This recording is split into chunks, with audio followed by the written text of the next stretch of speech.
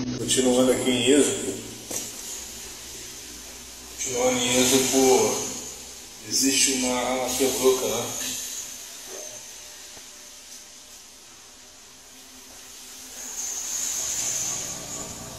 Existe uma passagem em Êxodo que mostra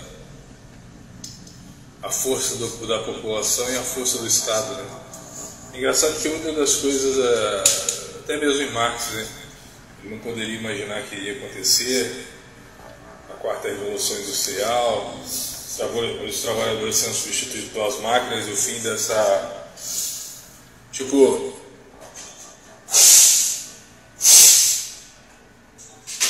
Eles. eles não podiam imaginar Tipo, eles achavam que não existiria um acordo entre o trabalhador e o, e o patrão, né, digamos. E aí esse acordo, com o tempo, ele foi se intensificando, vamos dizer assim, e ganhando corpo, até que né, as ações evolucionárias fossem se reduzindo, né? Vou marcar aqui. Fossem se reduzindo até chegar ao ponto de não é que não sejam mais necessários, mas não, não acontecerem mais de forma abrupta e, e tão agressiva como de antigamente. Né? Engraçado tem uma ali também que é muito legal, que é do, que é do rato, quando ele fala do, a respeito do.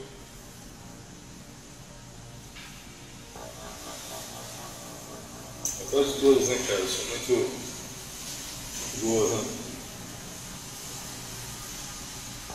Cigarro, ali do, dos pequenos, né? É, do rato que ele identifica, olha essa daqui, ó, interessante, o urso e as abelhas. Então, abre aspas, um urso topou com uma árvore caída e servia de depósito de mel para um enxame de abelhas. O urso aí representando o Estado, né? força do Estado e as abelhas representando o coletivismo, a força é, humana, né? ou da maioria, né? muito bem identificado pelo Marx. Né? Só que naquela época ele identificou o Estado como um Estado burguês, que de fato, é, como, assim, como o socialismo não tinha dado ainda, isso era uma proposta, você tinha naquela época de fato o Estado tomado pelos burgueses. É uma coisa também que não ficou. Né? Caiu alguma coisa. Ai, ai. É, de fato, não existia uma, um contraponto sabe? entre o Estado. Acho que ninguém lembrou disso, né? Não existia contraponto. Esse talvez seja um legado do Marx. Seria propor um contraponto, como ele percebeu a dialética, sabe? E o contraponto, se tivesse que eleger um, um ponto positivo do Marx, seria justamente esse, esse contraponto, né? De uma força que pudesse estar do outro lado da corda, sabe? Só que naquela época o Estado, o contraponto, seria o urso e o povo, as abelhas, né? E agora é o contrário, né? Quando o socialismo ele toma o poder, inverte a pirâmide e o, né, o aquela pirâmide conhecida, né? O rei em cima e o povão embaixo. E aí quando você e o rei com no topo da pirâmide o povo embaixo é, servindo de base da pirâmide. Mas uma vez que você inverte no socialismo, você, na verdade, você investe, né? Investe, né? Você mantém, mas sob outra perspectiva, né? O povo agora é representado por um sujeito, e agora a ponta pirâmide sendo imensa, ele tem imensos poderes, e ele comanda. É, e a, e a ponta que ficou embaixo da pirâmide representada pelo povo, não no sentido de, de minoria, né? que continua a maioria, mas no sentido de poder, né? Essa pirâmide ela é representada um só antipoder sobre o povo, mesmo invertida, esse um agora volta a ter poderes absolutos, né? E agora ele não tem muito mais forte do que o de antes, ele mantém poder absoluto. É um retorno também, de certa forma. Em outras palavras, é um retorno para o autoritarismo antigo, né? Os autocratas antigos, é, os governos de, de reis, reinados e tal, principados e tal, é, não mudou nada, ele é, só que na primeira visão ele imaginava que esse grupo de seres, as abelhas, destruiriam esse rei, mas para eleger um outro rei que da mesma forma a princípio tomaria poder e cuidaria dessas abelhas, mas que na realidade por ser eu não sei se existe essa palavra descompatível, ele depois de um tempo exerceria forças é, contra esse, esses, esses próprios que, que o elegeram. Assim. Existia também uma fé bizarra também sobre o bom selvagem, né? quanto mais próximo à selvageria, mais próximo da justiça ele estaria, ou da bondade, que é um, uma percepção bizarra. Né? O seu fato do cara ter saído do meio exploratório não garante a, a sua idoneidade é, moral, intelectual. Sabe?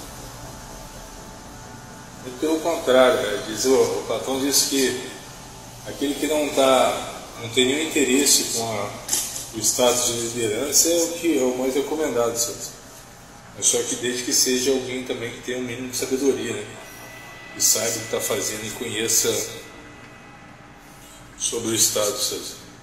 que também não impede de ser um tirano. Sabe? Então, ou seja, é aquela, aquela máxima lá. Nós estamos entre a, a tempestade, né? o vento e os raios solares, está no meio aí, esperando, tentando se defender de uma força menos opressiva, né? ou esperando algum tipo de possibilidade de reação é, em meio a essas duas forças que oprimem. Aí fala que começou a farejar o tronco quando uma das abelhas de enxame voltou do campo de, de trevos adivinhando o que ele queria, deu uma picada daquelas no urso e depois desapareceu no buraco do tronco. O urso ficou louco, com raiva e se pôs a arranhar o tronco com as garras, na esperança de destruir o ninho. É o que está fazendo hoje em dia, né? O com, acusando todo mundo de fake news, prendendo todo mundo e causando um certo de opressão nessas abelhas. Só que ele mal imagina que a força ainda é das abelhas, né? da quantidade. Né? Aí ele complementa, sem querer ou por querer, a gente nunca vai saber, contou uma fábula sociológica e política. Sabe? Aí fala, né? A única coisa que conseguiu fazer era o enxame dele sair atrás dele. O urso fugiu a toda velocidade e se salvou porque mergulhou a cabeça num lago. E a moral da história é: mais vale suportar um só ferimento em silêncio que perder o controle e acabar todo machucado. É assim que o Estado está fazendo. Ele está sofrendo ataque de influenciadores,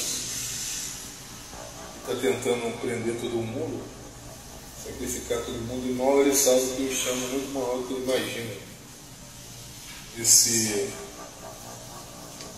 essa previsão aí Marx fez é,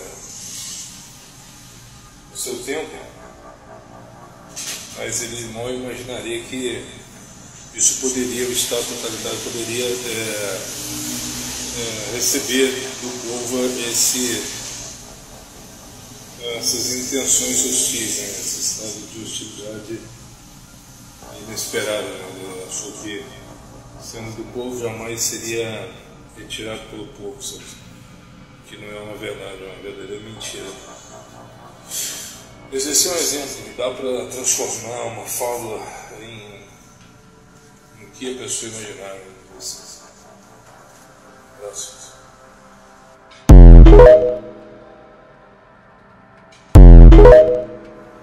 Outra passagem aqui que ilustra bem o socialismo é essa da a raposa e a máscara também muito conhecida através de Êxodo, o maior filósofo de todos, né? primeiro filósofo moral. E através das fábulas que ele contava, absorvia os conhecimentos populares né? e, e transmitia através de, de fábulas, né? a melhor síntese possível desse tipo de conhecimento. É bem curtinha essa daí. E ela assim, abre aspas. Um dia a raposa entrou na casa de um ator e encontrou uma linda máscara no meio de uma pilha de objetos usados no teatro. Encostado, encostando a pata na máscara, disse: Que belo rosto aqui, pena que não tem cérebro. E aí a, a síntese, a moral da história é uma bela aparência não substitui o valor do espírito. E é uma máxima mesmo, né? até mesmo porque o, o socialismo sempre iniciou, né, é, teve por início uma ideia até mesmo é, positiva, né, no sentido de querer fazer frente aí a, um poder autoritário, né,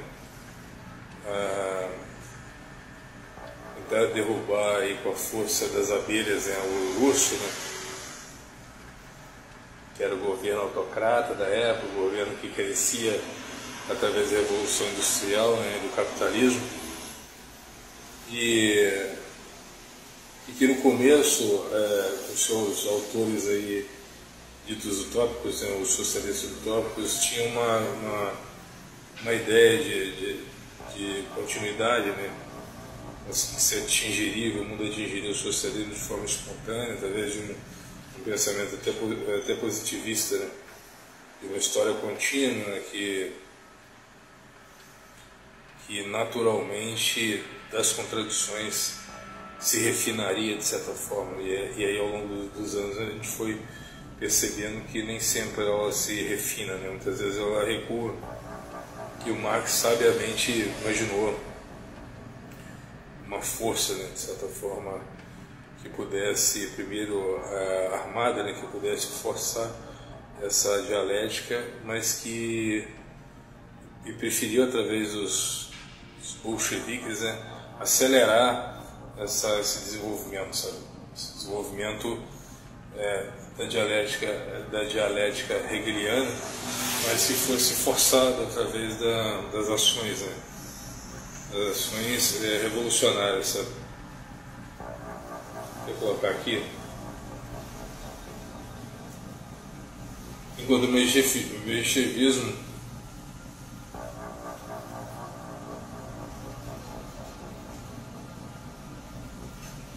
Então, assim, ficar claro, na visão dos vermelhos, né, do bolchevismo, essa revolução socialista instalaria aí a ditadura do proletariado. Sabe? Mas, quando ele, mas como eles precisam vender a propaganda, né, eles precisam usar a máscara justamente para ocultar essa ditadura. Então, ou seja, trocar a ditadura que eles têm né, como ditadura burguesa ou capitalista pela ditadura do proletariado. Você pode ver que nos cursos, sempre que eles estão doutrinando, jamais é. Só que eles acreditavam nessa aliança né, de, de operários camponeses, e eles não imaginariam que todo esse processo fosse ser substituído. Hoje em dia, as máquinas fazem o trabalho do campo, né? E os, e os eles existem, mas não em grande quantidade como existia antes. Então, de certa forma, nesse jogo, os mencheviques tinham razão, porque intuitivamente eles imaginavam que ia precisar de passar pelo processo capitalismo, ou seja, de alguma maneira esses camponeses evoluiriam saindo dessas, dessa condição, assim como os operários e tal, e as coisas fossem, e o capitalismo fosse errando, ele foi, o socialismo, a ideia do socialismo pudesse avançar, diferente dos bolcheviques que imaginavam essa força de ser imediata, essa, é, mas você pensar um governo controlado pelos trabalhadores não é grande parte dos trabalhadores não tendo formação, né? Então você não consegue também dar o microfone para milhares de pessoas falar ao mesmo tempo. Né?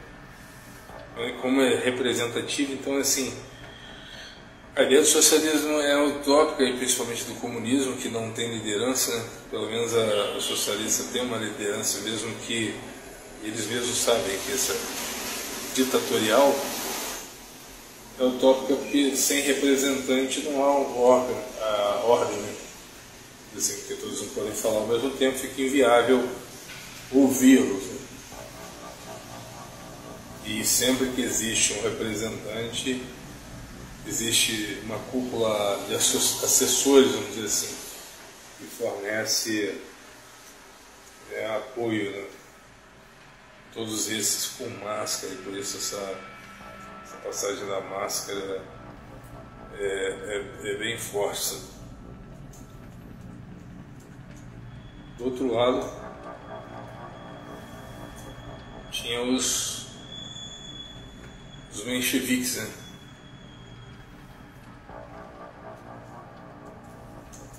que acreditavam nessa construção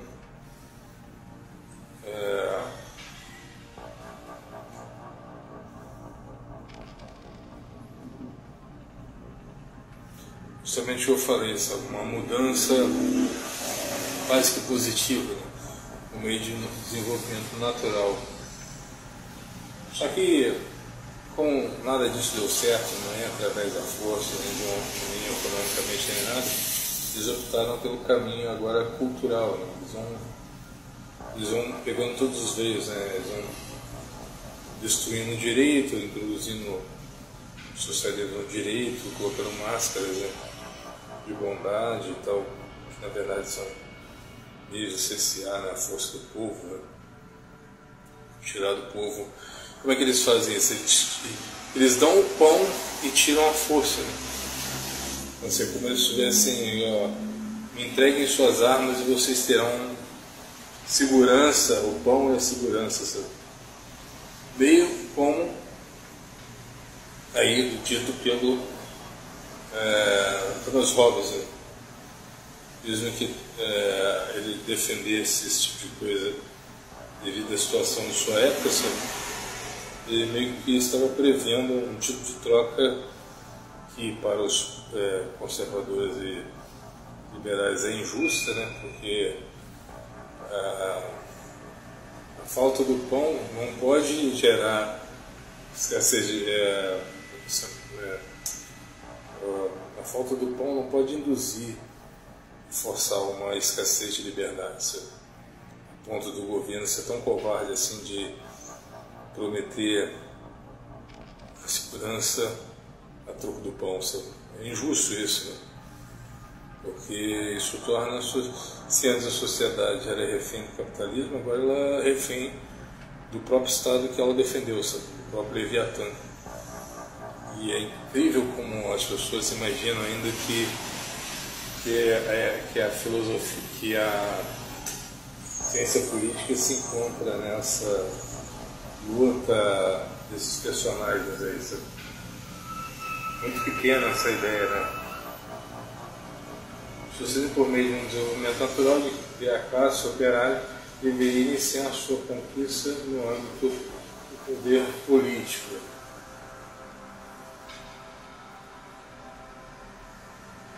Pegar uma definição aqui, nós, os bolcheviques defendiam uma mudança radical, muitas vezes sem máscara, às vezes com máscara, às vezes sem máscara. Eles com, com, sem máscaras, né? e agora, vezes com máscara. Praticamente, como com a derrota do bolchevismo, o que existe hoje é o menchevismo. Sabe? Só que uma tática de máscara do menchevismo, mas com um processo é, acelerado como o bolchevismo. Sabe? Então você tira o aspecto de agressividade, mas não deixa de avançar. Só que o avanço agora é muito mais teórico e cultural do que qualquer outra coisa. Sabe? Isso justifica o uso de máscaras, né? essa passagem, a raposa e a máscara.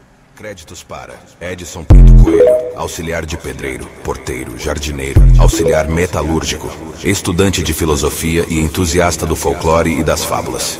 Um carinha que começou o seu desejo pelas artes em 1990, muito por conta do Jaspion e Ninja Jiraiya, duas séries que passavam na extinta TV Manchete. O desejo pelas artes marciais foram determinantes para o surgimento de outras artes, como pintura, natação, karatê, música e mamonas assassinas.